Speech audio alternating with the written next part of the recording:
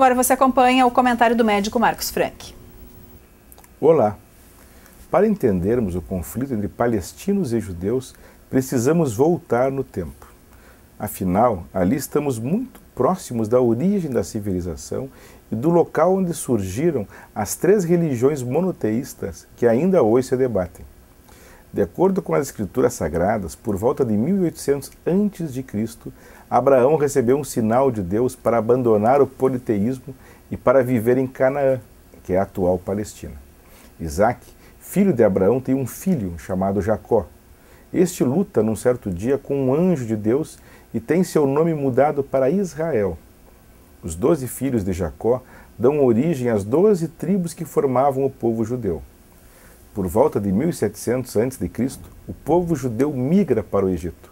Porém, são escravizados pelos faraós e sua libertação só ocorre por volta de 1300 a.C.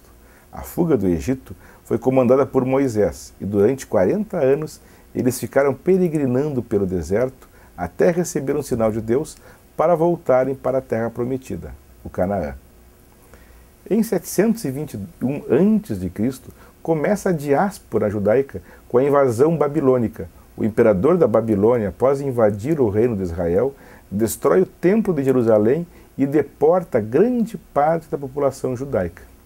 Mais tarde, no século I, os romanos invadem a Palestina e destroem novamente o templo de Jerusalém e fundam ali uma de suas colônias, a Judéia.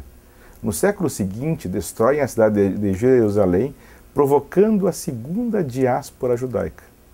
Após esses episódios, os judeus espalham-se pelo mundo, mantendo, no entanto, sua cultura e sua religião. 600 anos depois, o califa Omar, descendente direto de Maomé, conquistou Jerusalém. Fontes muçulmanas até hoje comparam a civilidade do califa com a brutalidade e selvageria dos cruzados católicos que chegariam ali 450 anos depois. Viriam ainda turcos otomanos e ingleses, até que no final da Segunda Guerra, em novembro de 1947, as Nações Unidas recomendaram a divisão da Palestina em um Estado judeu e um Estado árabe e uma administração direta das Nações Unidas em Jerusalém.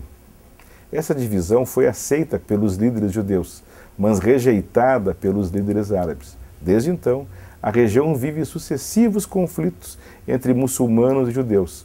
Estamos vendo apenas mais um deles. Obrigado, Rita.